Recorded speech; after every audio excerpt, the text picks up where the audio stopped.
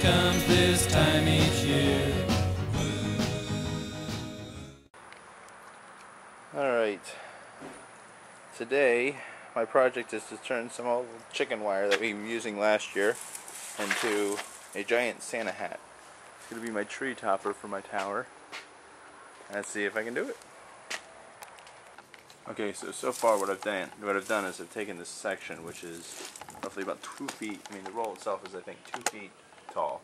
So I took a section, I made the base a circle. It's kind of hard to see here, but the size I think I wanted it. Alright, and I just used uh, when I cut it together, I just used get down here. I just used the end of the wire to tie it together. Obviously, when I get it all done, I'm going to zip tie it down, but um, and then I, what I did is, this is the cut where it was initially. I did four cuts. And then I folded it into kind of triangle shapes. Again, I'm going to have to form this and make it, you know, exactly once I start, you know, finalizing it. But this is what I've done so far. And then these are going to go in and then be tied together and make that kind of cone shape. The basic shape here almost looks like a giant Hershey kiss. And again, it's still a little you know, not, it's still a little awkward shaped, but again, you can, this thing, that's the reason I'm using chicken wires, because it's uh, easy to be formed. So this is the first section. What I'm going to do is I'm to go ahead and cut off another little piece to kind of do the top that'll, that'll bend over. I just want to show you what we've got so far. Alright, so here's the piece that we cut off. I don't know what it's about. It was uh, almost a foot long. Get the full length. I can cut off the length if it's too much. I'm just going to roll it up. Maybe a little wider at the bottom and get it a little bit tighter at the top. Should be wearing gloves for this stuff, but I'm not.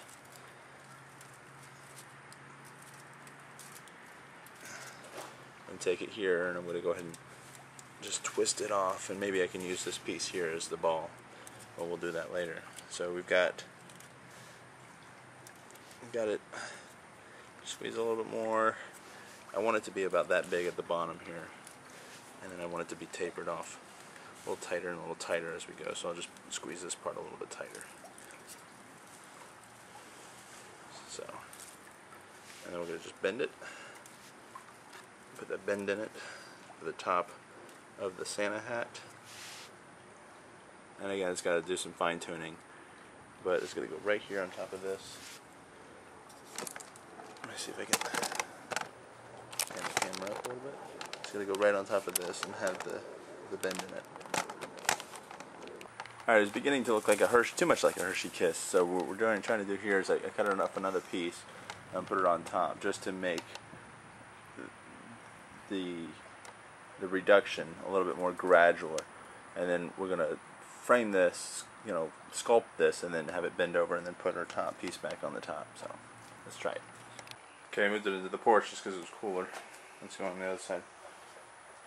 Now, it's taken me probably about a half hour and a little bit of patience. I'm trying to get a good angle on the thing. You can kind of see it. There we go. I guess this is the best angle and still it's going to take some finagling and it just looks like a pile of wire right now but what I plan on doing is not only wrapping I have a I might even go with another layer of chicken wire around the bottom to make it a little bit thicker.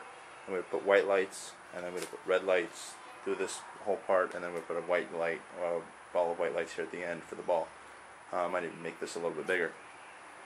Um, before I do that I'm obviously going to zip strip all the, the pieces together so it stays together. And then I was going to go to Walmart and get some of that cheap garland really cheap um, 97 cent garland hopefully get enough to wrap this so in the daytime it'll actually look like a Santa hat as well and it's going to go and be fastened to the top of the tree alright here it is all wrapped up I think it's looking pretty good so far. I gotta put some lights on it. This is my next step. Uh, again, it's just chicken wire. And then I went to go went to Walmart and got some uh, 97 uh, 97 cent cheap garland.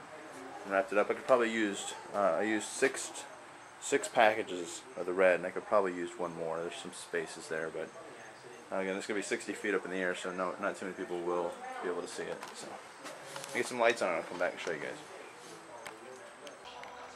All right, and here it is, final pro finished product.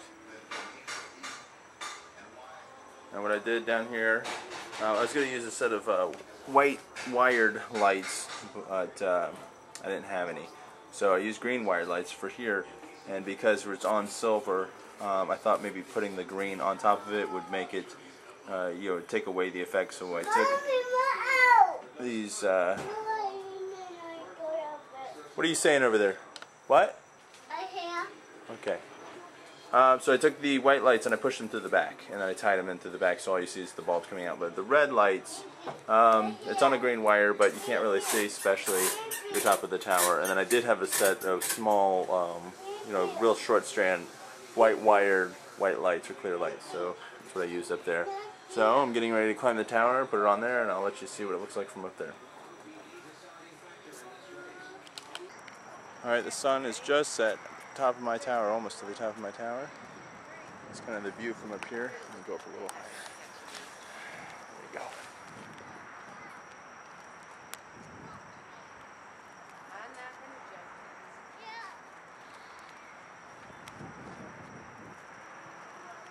And here is the the hatch. Real reason I'm up here.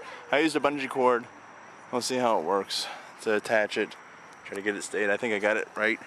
The wind's not bad now and I hope that it'll stay and not fall apart. It's it's pretty it's together pretty well, so let's hope. I'm gonna show you a view from the ground. Alright, and there it is at the top of the tower. I think it looks better in person than it does in the video, but I'm gonna get the tree up this weekend and the rest of the lights, so it's gonna be the tree topper. A little different.